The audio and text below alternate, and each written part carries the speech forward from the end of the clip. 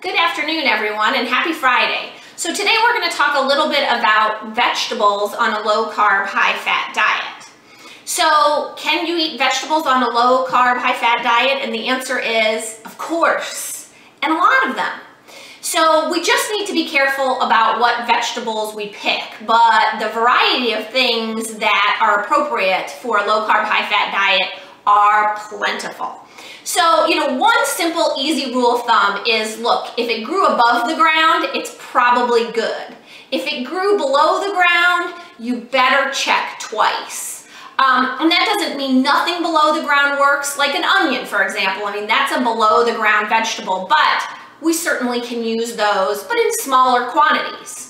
So vegetables, of course, are gonna provide a lot of micronutrients and minerals. Um, they're also going to be a great source of fiber. So we encourage lots of vegetable use on a low carb, high fat diet. But think of vegetables as a wonderful, wonderful vehicle for some of your fat for the day. So let's take a look at a couple of different ways some vegetables can be made even better. So for example, what I've got here is a bowl of kale and we're looking for a quick vegetable for dinner. So we think about blanching kale, right? We might throw it in some boiling water, but here is maybe a better way to blanch kale. Pull out of the microwave my melted butter. So we're talking one step here. And instead of hot water on the kale, blanch it in melted butter. We're gonna toss it really quick. And guess what? That goes straight on the dinner table with a little salt. Perfect. Micronutrients, fiber, butter, and easy. That's important. Next thing, another popular, replacement for the spaghetti. This is a spaghetti squash. Literally, the entire squash just went in the oven. 375 degrees for about an hour. I didn't have to do anything. I cut it open. That's what it looks like spaghetti. Plenty for an entire family to have for dinner. So here's what a serving would look like. About a cup. Now spaghetti squash is a winter squash, tend to be higher in carbohydrates, but an entire cup has about 10 grams of carbs. This could be worked in, and it looks pretty good here. We could certainly put butter on it, but wait a minute. Remember what I said about the vehicle for fat? How does it look with some Alfredo sauce on it? Perfect. 10 grams of carbs, yummy vegetable, extra fat. Next thing, my kid's favorite. Instead of spaghetti, we have zoodles. This is a cup, a cup of zucchini that was just zoodled. It takes just a second to do.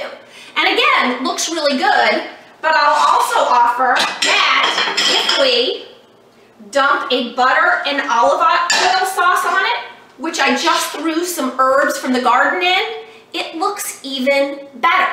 A cup of zoodles, four grams of carbohydrates. So when we're choosing vegetables, we want to look at the total carbs, for sure, but we also want to look at the fiber.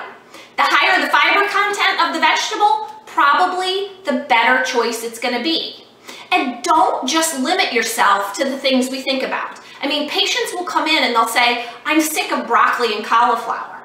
All right, when was the last time you had a zucchini or had spaghetti squash? When was the last time you just roasted an eggplant? It's very simple to do.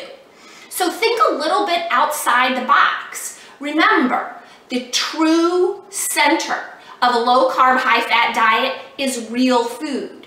And that means plenty of different vegetables. So don't just hone in on the broccoli and cauliflower.